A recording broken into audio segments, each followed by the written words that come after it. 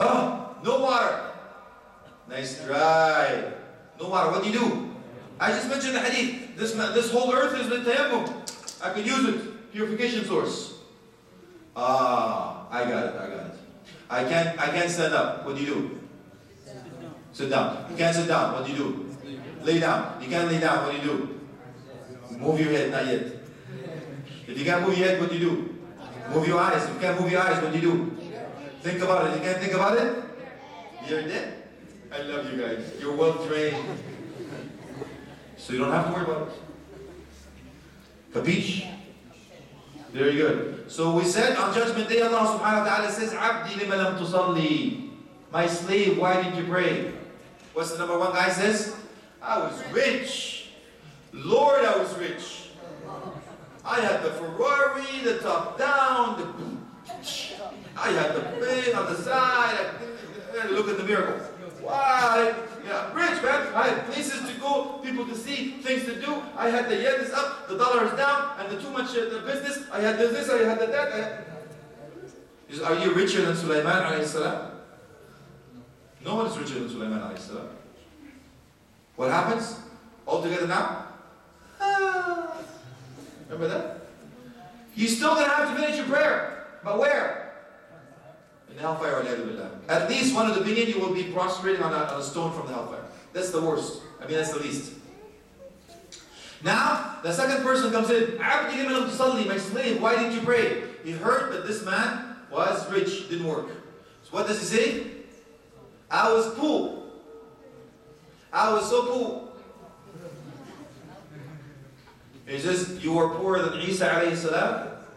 He used to say what? The earth is my bed and the heavens is my cover. Where are you going to go, man? You know the definition of poor according to Prophet Muhammad This is when you eat something in the morning, you have nothing left at night, you have nothing to wear except what you're wearing, and when you ask people to lend you money, they won't give you. And you, you're sleeping when you're pleased with Allah. That's according to him, that is the poor. Are you there? Of course not. طيب. And what happens after that? That's the sound of you going, well, not you inshallah, anybody that's not doing that prayers will be going to the hellfire to do the prayers. So I, all I want you to remember, the, remember the sound effects. Every time that you hear Allahu Akbar and you don't pray, I want you to remember this. And you go, I'm smoking, I'm smoking, I feel hot. Ooh, hot, hot, hot. Now what happens the third one? He says, Lord, I was Mr. Casanova. Who's the man? I was such a good-looking guy. It was just, I, I, you couldn't keep off me with the football. I mean, the girls were just a magnet. They were attracted. I, I, it's not my fault, I, I, mean, I was created such a good-looking man. What can I say? I walk around, girls just pass out as I walk. I walk. It's your BO, man. Okay, now what happens?